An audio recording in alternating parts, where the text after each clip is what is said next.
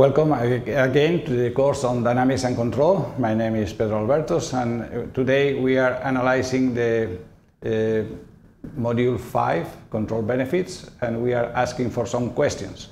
You remember that these modules this deals with uh, what we can uh, obtain from the, the, use of the control. In some cases it's necessary, other uh, cases we use the control to improve the performance. And also we saw that the control may uh, allow for new applications.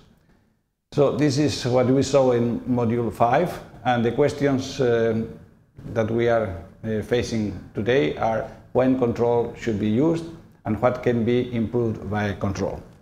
In this uh, last uh, question, uh, we analyzed the use of control to improve the regulation.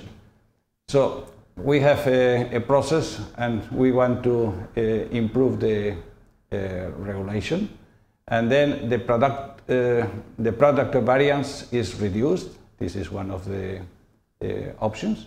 The set point can be conveniently tuned.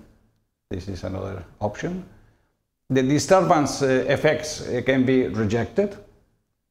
Or finally the control action the effort is reduced so, uh, which one is not correct?